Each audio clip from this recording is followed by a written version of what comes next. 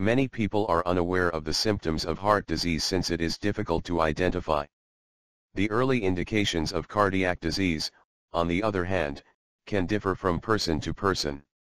According to a 2015 study published in JAMA, 8 out of 10 men and women who suffered a heart attack were unaware that their heart was at danger. A heart disorder called a silent myocardial infarction, SMI, is often overlooked. What are the symptoms of a heart problem that you should be aware of in order to avoid the danger of heart problems? Here are 10 symptoms that your heart has problems. 1. Easily tired. If you are used to physical activity but suddenly feel tired easily, it may be a sign that your heart is not pumping enough blood around your body.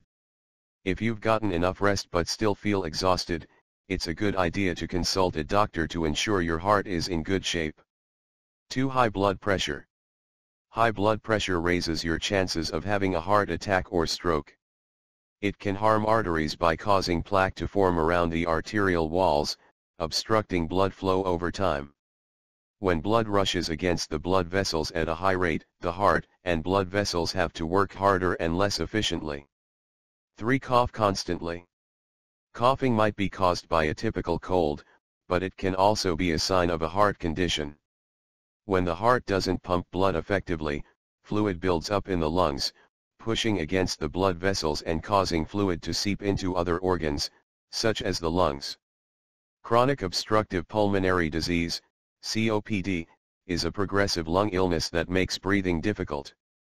It is caused by an unhealthy heart. 4. Hair loss. Hairless legs may indicate a lack of oxygen due to constricted arteries that decrease blood flow. Hair follicles cannot grow without blood. 5. Swelling in the legs. The blood vessels become blocked when the heart is not pumping blood efficiently, allowing extra fluid to leak into the body's tissues. This results in swelling of the feet, legs, abdomen, and even the scrotum. When you see swelling in an unexpected location of your body, apply pressure to the area and note whether it leaves empty grooves in the skin. If it does, the tissue is likely storing excess fluid. 6. Snoring or difficulty breathing during sleep. Sleep apnea and other sleep problems lead people to snort and stop breathing while sleeping. This disorder has been linked to an increased risk of heart attack or atrial fibrillation, a kind of cardiac arrhythmia. When persons with sleep apnea sleep, their oxygen levels drop, and the body orders the blood vessels to constrict to allow more oxygen to reach the heart and brain. This causes shortness of breath. 7. Feeling pain in the neck or jaw. Women are less likely than men to show signs of a heart attack. Nausea and exhaustion are common side effects. Angina, a disease in which the heart is deprived of oxygen-rich blood, can cause neck or jaw pain.